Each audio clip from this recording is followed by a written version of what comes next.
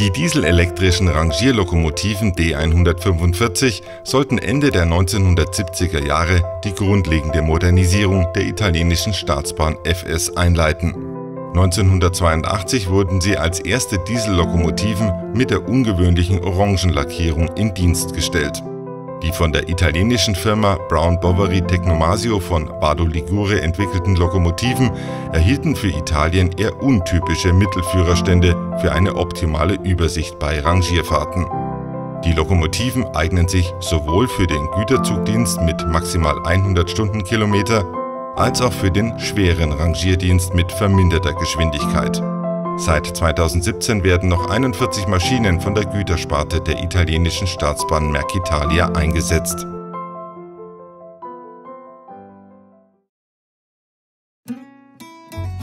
Mit der markanten Diesellokomotive D145 der FS erscheint nun erstmals eine Pico-Neukonstruktion eines rein italienischen Fahrzeuges.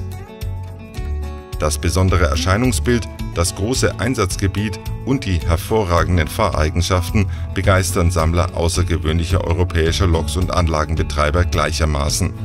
Eine gelungene Mischung aus Detailverliebtheit und Betriebstauglichkeit unterstreicht dies zusätzlich.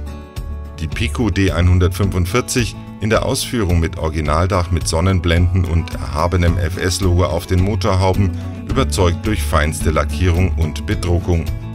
Besonders auch die angesetzten Griffstangen und scharf gravierte Drehgestellblenden.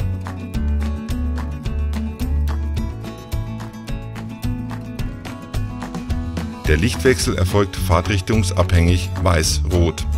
Die serienmäßig eingebaute Führerstandsbeleuchtung und die fahrtrichtungsabhängig funktionierenden Schlusslichter sind mit einem Plax 22 Decoder digital schaltbar.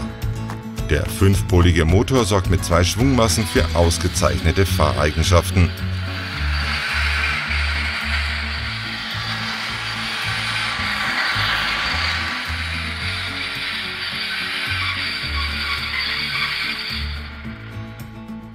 Geschlossene Schürzen und Bremsschläuche zum Nachrüsten liegen bei. Das analoge Modell besitzt eine Digitalschnittstelle Plax 22 nach NEM 658 und ist für eine einfache Nachrüstung mit Sound und größtmöglichem Lautsprecher vorbereitet.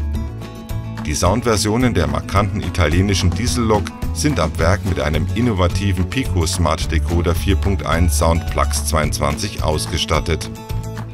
Neben dem problemlosen Anmelden an geeigneten Zentralen per Railcom Plus, wie zum Beispiel bei unserer Pico Smartbox oder an MFX-fähigen Steuerungsgeräten, sind nun neue individuelle Einstellungen im Mapping und Klangerlebnisse auf höchstem Niveau dank einer verstärkten Ausgangsleistung von 2,5 Watt möglich.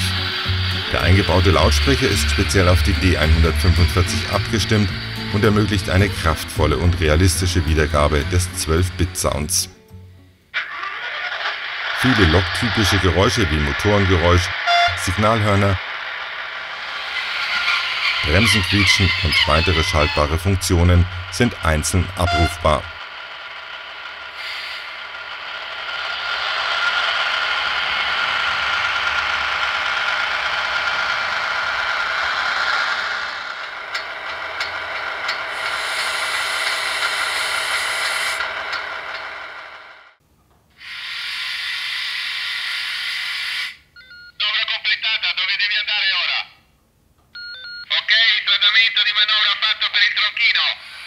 Die Sounds der Lokomotive, die Bahnhofsdurchsagen sowie die Funksprüche wurden an der Vorbildlokomotive in Italien aufgenommen und von der Pico Sound Abteilung speziell abgemischt.